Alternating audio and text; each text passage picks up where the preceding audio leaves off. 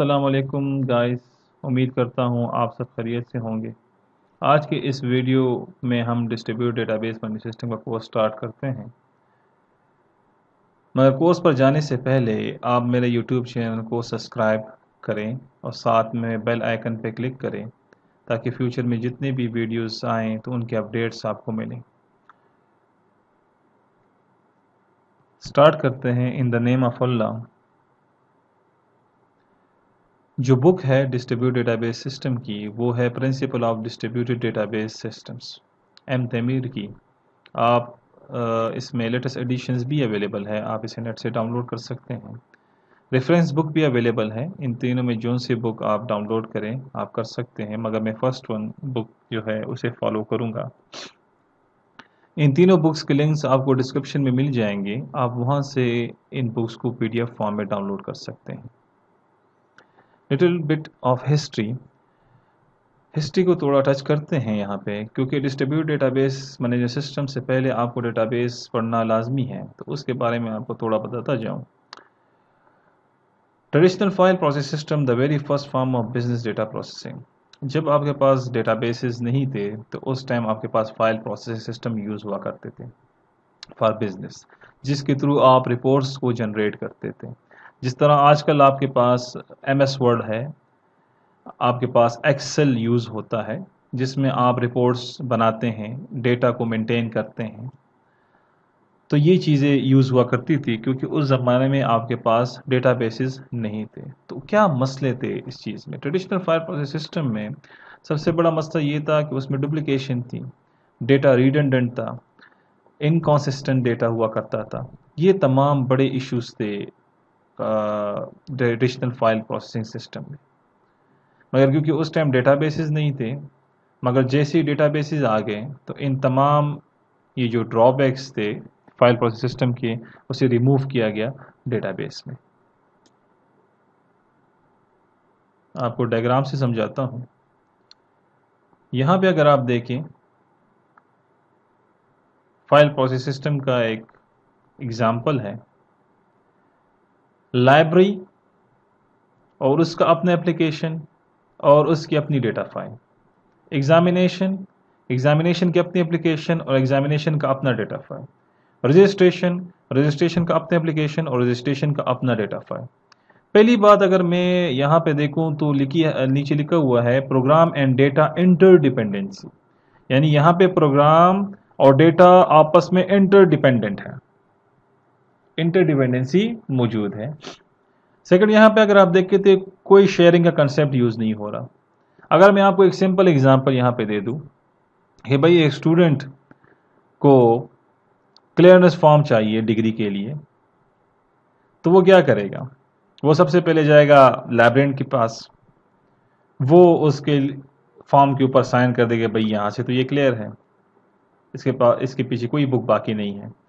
फिर वो जाएगा एग्जामिनेशन सेक्शन में, फिर वहाँ से क्लियरेंस लेगा, फिर उसके बाद वो जाएगा एडमिन के पास एंड देन वो फाइनल करके इसे डिग्री दे देगा। मगर यहाँ पे अगर आप देखिए तो ह्यूमन को कोई आसानी प्रोवाइड नहीं हो रही।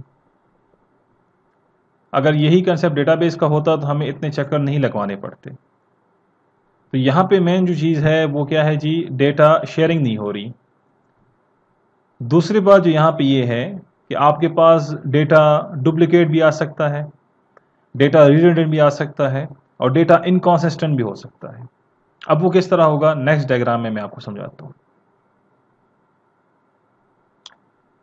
लाइब्रेरी एग्जामिनेशन रजिस्ट्रेशन अगर यहाँ पे देखें तो registration number registration number registration number name name and name ये दो अगर आप देखें, ये एट्रीब्यूट्स इन तीनों टेबल्स में मौजूद है। अगर मैं रजिस्ट्रेशन नंबर यहाँ पे चेंज करूँगा तो मुझे रजिस्ट्रेशन नंबर यहाँ पर भी चेंज करना है रजिस्ट्रेशन नंबर यहाँ पर भी चेंज करना है। अगर मैंने चेंज नहीं किया तो डेटा मेरे पास इनकॉन्सिस्टेंट हो जाएगा। मगर दूसरी बात की है, क्योंकि दो एट्रीब्यूट्स रिपीट कर रहे हैं तो डेटा हमारे पास डुप्लीकेटेड भी है। डेटाबेस में ये कंसेप्ट नहीं है। आपके पास पेरेंट टेबल में जो रिकॉर्ड पड़ा हुआ है, ठीक है जी, वो चाइल्ड मतलब पेरेंट में आपने रजिस्ट्रेशन नंबर लिया तो चाइल्ड में उसे मूव करने की ज़रूरत ही नहीं है। तो वहाँ पे आपके पास डुप्लीकेशन ऑफ़ डेटा नहीं होता, जब हम पढ़ेंगे वो आपको समझ आ जाएगी। मगर यहाँ पे अगर आप देखें, एक तो डेटा डुप्लीकेटेड आ रहा है। मतलब तीनों टेबल में असदुल्ला असदुल्ला असदुल्ला, और उसका रजिस्ट्रेशन नंबर उसका रजिस्ट्रेशन नंबर उसका रजिस्ट्रेशन नंबर ठीक है जी? दूसरी बात यह है, अगर आप असद का नाम रजिस्ट्रेशन में चेंज करते हैं तो आपने इन दोनों में लाजमी चेंज करना है। तो ये सबसे बड़ा मसला था, जिसकी वजह से डेटा आपके पास इनकन्सिस्टेंट हो जाता है। जब रिप्लिकेशन ऑफ़ डेटा आता है डेटा रिडेंडेंसी आती है तो डेटा आपके पास क्या हो जाता है जी? इनकन्सिस्टेंट हो जाता है। तो ये सबसे मेजर ड्रॉबैक था फ़ाइल प्रोसेसिंग सिस्टम का। अब डेटाबेस अप्रोच में अगर आप देखें तो पहली बार डेटा शेयरिंग का कंसेप्ट आ गया। दूसरी बात, यहाँ पे तमाम डेटा एक ही जगह पे पड़ा हुआ है। जब तमाम डेटा एक ही जगह पे पड़ा होगा तो शेयरिंग इजीली होगी आपके पास। दूसरी बात, यहाँ पे ये है कि डेटाबेस अप्रोच में डेटा आपके पास इनकन्सिस्टेंट नहीं होता। डेटा डुप्लीकेशन ख़त्म हुआ डेटा रिडेंडेंसी ख़त्म हुआ। आपने पेरेंट टेबल में registration number primary key use किया और तमाम में एज अ फॉरन की यूज़ कर दिया। तो डेटाबेस में हमने इन तमाम चीज़ों को क्या कर दिया जी? एलिमिनेट कर दिया। यहाँ तक उम्मीद करता हूँ आपको समझ आ चुकी होगी। तो ये जो स्टेटमेंट सेंटेंसेस ने लिखी है take care of all major drawback of file file system environment plus more तो यहाँ पे जितने ड्रॉबैक्स थे फ़ाइल प्रोसेस सिस्टम की, वो डेटा में हमने डेटाबेस सिस्टम में हमने उसे रिमूव कर दिया। तो यहाँ पे आपके पास डेटा जो होता है, वो कंसिस्टेंट होता है। कंसिस्टेंसी की अगर मैं एक सिंपल आपको एग्जांपल दे दूँ कि भाई जिस तरह आपने एक डेटा टाइप नंबर डिक्लेयर किया तो उसी में नंबर ही स्टोर होंगे। अगर वॉच आवर आपने क्रिएट किया तो उसमें वॉच आवर ही होंगे। जिस तरह आप सी प्लस में इंटीजर लेते हैं डेटा टाइप को तो उसमें इंटीजर ही स्टोर होते हैं। फ्लोर तो स्टोर ही नहीं हो सकते। ठीक है जी? तो कंसिस्टेंसी कि आपके पास डेटा करेक्ट फॉर्म में स्टोर हो। Database approach database is share collection of logically related data ये पहले मैं बता चुका हूँ कि भाई क्या है? Database share collection of logically related data है। शेयर का कंसेप्ट मैंने आपको बता दिया। कलेक्शन ऑफ़ लॉजिकल डेटा मतलब डेटा जो है, उसमें लॉजिकली रिलेशनशिप होना चाहिए। डेटा लॉजिकली रिलेटेड होना चाहिए। लाइक like स्टूडेंट का रिलेशन है टीचर के साथ और टीचर का रिलेशन है स्टूडेंट के साथ। आल्सो कॉल सेंट्रलाइज डेटाबेस अब डीबीएमएस क्या है? Software system that permit the management of data and facilitate the user accordingly अब डीबीएमएस डेटाबेस मैनेजमेंट सिस्टम एक सॉफ्टवेयर है जो कि आपको क्या करता है? ऑथराइज करता है कि आप मैनेजमेंट ऑफ़ डेटा करें और वो यूज़र जो डेटाबेस से एसोसिएटिव है, उन्हें भी आप मेंटेन करें। तो डीबीएमएस क्या करता है? मैनेजमेंट ऑफ़ डेटा करता है। Centralise system in centralise system similar jobs are done on a particular central processing unit centralise system में क्या होता है? एक ही central processing unit central processing unit के ऊपर तमाम पर्टिकुलर जॉब्स हम परफॉर्म करते हैं। डिस्ट्रीब्यूटर सिस्टम में क्या होता है? In distributor system job are distributed among several processor यहाँ पे जो जॉब्स होते हैं, उसे हम डिस्ट्रीब्यूट कर लेते हैं सिविल प्रोसेसर्स के ऊपर। And the processor are interconnected और उन प्रोसेसर को कनेक्ट किया जाता है बाय अ कंप्यूटर नेटवर्क एक किसके ज़रिए? कंप्यूटर नेटवर्क के ज़रिए। ऊपर वाले में अगर आप देखें तो उसमें तमाम जॉब्स को एक प्रोसेसर के ऊपर प्रोसेस किया जा रहा है। मगर डिस्ट्रीब्यूटेड सिस्टम की अगर आप बात करें तो उसमें आपके पास जॉब्स को मोर देन वन प्रोसेसर के ऊपर क्या कर रहा है जी? प्रोसेस किया जा रहा है और उन प्रोसेसर को फिर कनेक्ट किया जा रहा है किसके थ्रू कंप्यूटर नेटवर्क के थ्रू बात समझ आई? Distribute computing system. A number of autonomous processing element. Autonomous का मतलब यहाँ पे autonomous का मतलब यहाँ पे हो गया भाई separated, independent. जो प्रोसेसिंग एलिमेंट है data connected through computer network जिसे हम कनेक्ट करते हैं किसके ज़रिए? कंप्यूटर नेटवर्क के ज़रिए. And then cooperate in perform their assigned task और फिर वो क्या करते हैं जी? कॉपरेट करते हैं कि वो जो टास्क इन्हें मिला है, उसे क्या कर सके? परफॉर्म कर सके. मतलब यहाँ पे एक बात समझिए कि यहाँ पे एक टास्क मैंने दे दिया तो उस टास्क को वो डिस्ट्रीब्यूट कर लेते हैं तमाम प्रोसेसर के ऊपर। और तमाम प्रोसेसर उस प्रोसेस प्रोसेसर उस टास्क को कंप्लीट करके आपको रिस्पॉन्स कर देते हैं। आपको उसका आउटपुट दे देते हैं। तो यहाँ पे टास्क को डिवाइड किया जा रहा है भाई मल्टीपल प्रोसेसर के ऊपर। अगर सेंट्रलाइज कंप्यूटिंग सिस्टम, मैं डेटाबेस की बात नहीं कर रहा सेंट्रलाइज कंप्यूटिंग सिस्टम में क्या था? तमाम जो जॉब्स थे या तमाम जो टास्क थे, वो एक ही प्रोसेसर के ऊपर हो रहे थे।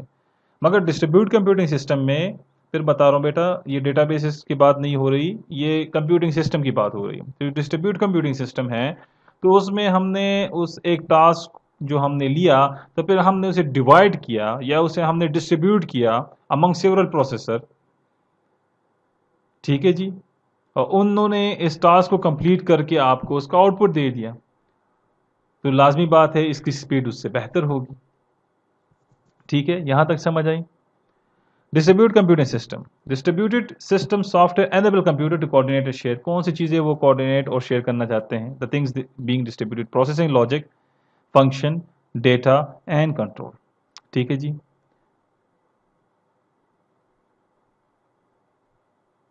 Classification of distributed computing system, degree of coupling.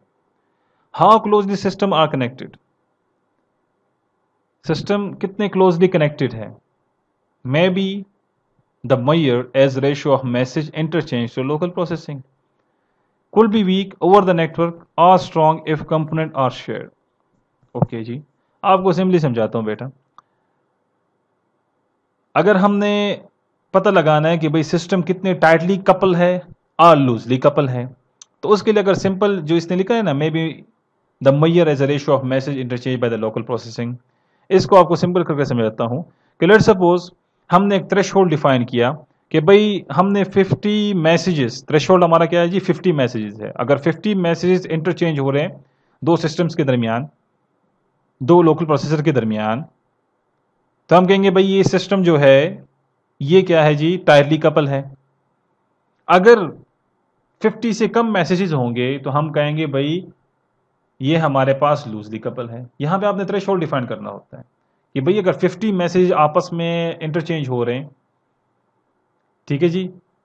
तो हमारे पास क्या है? टाइटली कपल है।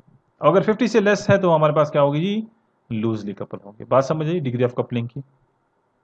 कि भाई मैसेज थ्रेश आपने यहाँ पे क्या करना होता है? डिफाइन करना पड़ता है। Why distribute computing system suit some of the organisation structure more reliable and responsive ये ऑर्गेनाइजेशन स्ट्रक्चर के ऊपर डिपेंड करता है। बाद ऑर्गेनाइजेशन को ये सूट करता है, बाद ऑर्गेनाइजेशन को ये सूट नहीं करता। नेचर ऑफ़ सम एप्लीकेशन कुछ एप्लीकेशन की नेचर होती है टेक्नोलॉजी पुश आजकल अगर आप देखें तो आप डिस्ट्रीब्यूट सिस्टम्स की तरफ़ ही मूव कर रहे हैं। तो ये टेक्नोलॉजी पुश भी हुआ यहाँ पे, क्योंकि आप एडवांस टेक्नोलॉजी की तरफ़ जा रहे हैं। आपके पास क्लाउड कंप्यूटिंग आ गया।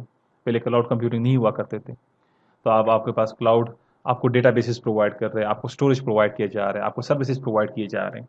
ठीक है ना? तो ये टेक्नोलॉजी पुश भी है आपके पास। तो ये कुछ ऑर्गेनाइजेशन को सूट करता है, कुछ को नहीं करता, क्योंकि अकॉर्डिंग टू बजट आपने डील करना पड़ता है। अगर आपके ऑफ़ कंपनीज़ हैं आपका बिज़नेस पूरे पाकिस्तान में है तो आप डिस्ट्रीब्यूट कंप्यूटिंग डिस्ट्रीब्यूट कंप्यूटिंग की तरफ़ जा सकते हैं। या आपके पास प्रोसेसिंग जॉब्स बहुत ज़्यादा है प्रोसेस करने आ, मतलब आपके पास जॉब्स बहुत ज़्यादा है आपके पास टास्क बहुत ज़्यादा है तो आप डिस्ट्रीब्यूट कंप्यूटिंग की तरफ़ जा सकते हैं। Distribute database system a distribute database is a collection of multiple logical interrelated databases distributed over computer network वहाँ पे अगर आप देखते हैं शेयर शेयर का लफ्ज इस्तेमाल हुआ था is a collection of logical related data था। मतलब डेटा कलेक्शन ऑफ़ डेटा था, मगर उसमें क्या होना चाहिए भाई? लॉजिकली रिलेशनशिप होनी चाहिए। लॉजिकली डेटा रिलेटेड होना चाहिए। यहाँ पे क्या है? वही डिफिनीशन है, मगर यहाँ पे is a collection of multiple logical logically interrelated databases data की बजाय क्या कर दिया गया भाई? डेटाबेसिस कर दिए गए डिस्ट्रीब्यूट डेटाबेस सिस्टम में। यहाँ पे डेटा की बात नहीं होगी। यहाँ पे हम मल्टीपल डेटाबेसिस को क्या कर रहे हैं जी? इंटर रिलेट कर रहे हैं। कंबाइन कर रहे हैं। मगर उनमें क्या होने चाहिए भाई? लॉजिकली लॉजिकली इंटरलेटेड डेटाबेसिस क्या होने चाहिए जी? लॉजिकली इंटरलेटेड डेटाबेसिस मतलब यहाँ पे एक डेटाबेस की बात नहीं हो रही मोर देन वन डेटाबेसिस की बात हो रही है, मगर उन डेटाबेसिस में लॉजिकल रिलेशनशिप होना चाहिए। वो डेटाबेसिस लॉजिकल रिलेटेड होने चाहिए। ठीक है ना? अगर मैं आपको एक सिंपल एग्जांपल दे दूँ कि भाई नॉर्दर्न यूनिवर्सिटी है हमारी तो इसके चार कैंपसेस है, जो कि एक नौशहरा में है, पिशावर में है, मरदान में है चारसदा में है। तो यहाँ पे मैंने चार डेटा बेसिस है मेरे पास let suppose Peshawar Charsadda Mardan and Nowshera तो अब ये चारों डेटा बेसिस लॉजिकली इंटरलेटेड हैं, क्योंकि ये एक ही ऑर्गेनाइजेशन के लिए काम कर रहे हैं, जो कि क्या है जी, आपके पास नॉर्दर्न यूनिवर्सिटी है। बात समझ आ रही है ना? कि भाई यहाँ पे हम डेटा की बात नहीं कर रहे कि लॉजिकली इंटरलेटेड डेटा है। नहीं, यहाँ पे लॉजिकली इंटरलेटेड डेटाबेस की बात हो रही है। क्योंकि यहाँ पे मोर देन वन डेटाबेसिस की बात हो रही है कि ये डेटाबेसिस आपस में लॉजिकली रिलेटेड होंगे। और फिर हम उसे डिस्ट्रीब्यूट करेंगे ओवर कंप्यूटर नेटवर्क ठीक है भाई? दूसरी definition a collection of logically in interrelated databases collection देखिए, एक एक की बात नहीं हो रही है। एक एक डेटाबेस की बात नहीं हो रही है। मोर देन वन डेटाबेसिस की बात हो रही है। Collection of logically interrelated databases data spread जिसे हमने पहलाया हुआ है physically cross multiple location multiple location के ऊपर। Connected by data communication link जिसे हमने कनेक्ट किया होता है डेटा कम्युनिकेशन लिंक मगर ये डेटाबेसिस एक ही ऑर्गेनाइजेशन के लिए काम करेंगे। बात समझ आ रही भाई? कि यहाँ पे कलेक्शन का लफ्ज यूज़ हो रहा है।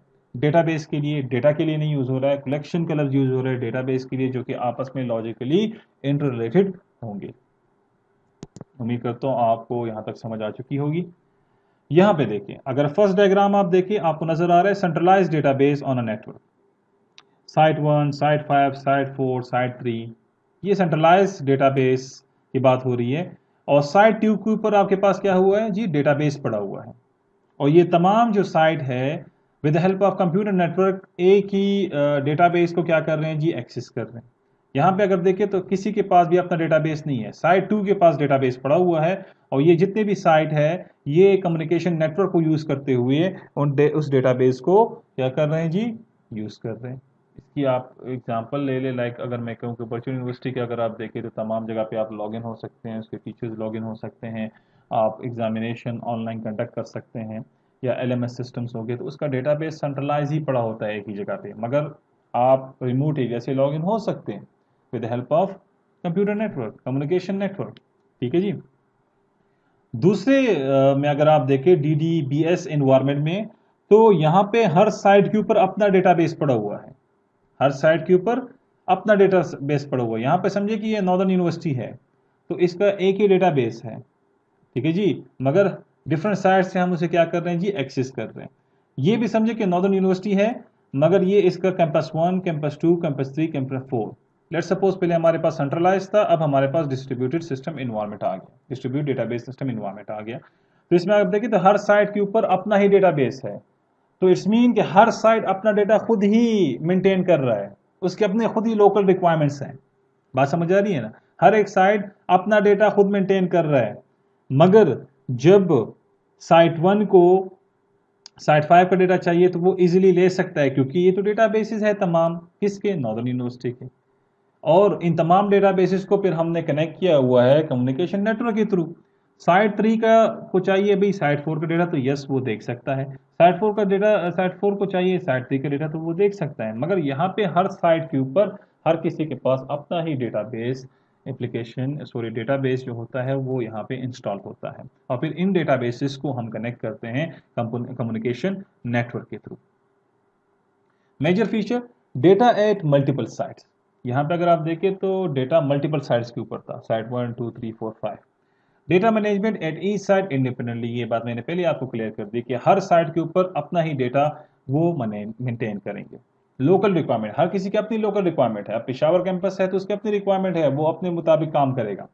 ठीक है ना? उसके अपने स्टूडेंट क्योंकि वो स्टूडेंट पिशावर से ही बिलोंग कर रहे हैं। ठीक है जी? तो उसके अपने कुछ रिक्वायरमेंट्स होंगे। नौशेरा के अपने कुछ रिक्वायरमेंट्स होंगे चासदा के अपने कुछ रिक्वायरमेंट्स होंगे। उसके मुताबिक वो डील करेंगे। ग्लोबल परस्पेक्टिव मगर यहाँ पे जो परस्पेक्टिव है ग्लोबल परस्पेक्टिव की बात हो तो सबका परस्पेक्टिव एक है, क्योंकि वो नॉर्दर्न यूनिवर्सिटी के लिए काम कर रहे हैं। ये कैंपसेस किसके हैं जी? नॉर्दर्न यूनिवर्सिटी के हैं। इसमें से जहाँ से भी डिग्री जनरेट होगी तो वो किसकी होगी? नॉर्दर्न यूनिवर्सिटी की होगी। बात समझ रहे हैं? तो ग्लोबल परस्पेक्टिव सबका क्या है जी? एक जैसा है।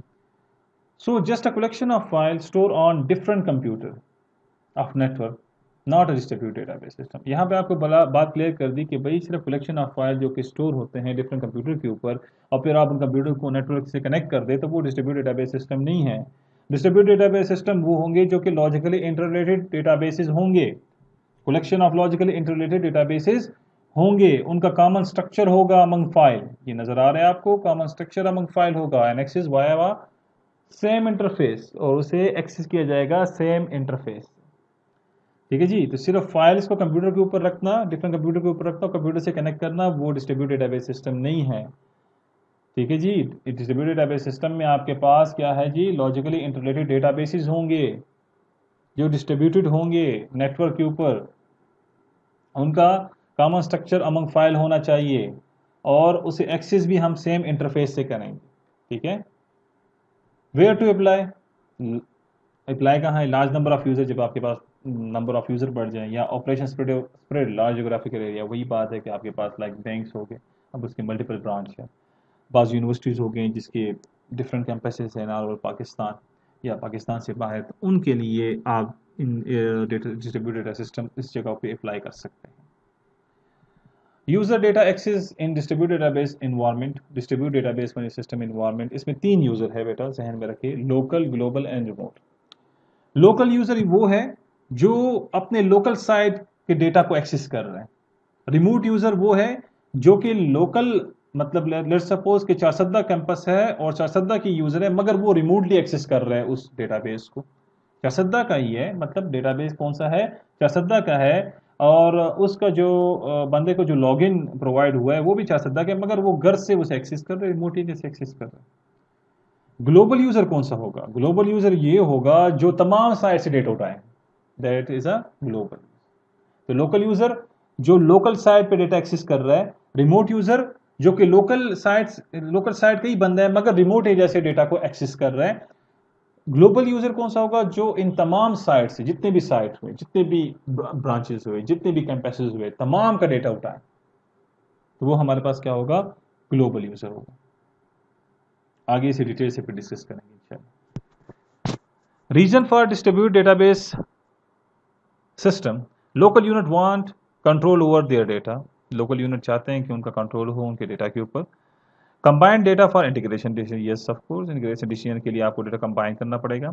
रिड्यूस टेलीकम्युनिकेशन कॉस्ट क्या करें जी? रिड्यूस करें टेलीकम्युनिकेशन कॉस्ट को, और reduce the risk of telecommunication failure और रिस्क जो है टेलीकम्युनिकेशन फेलियर का, उसे भी हम क्या करें? रिड्यूस करें।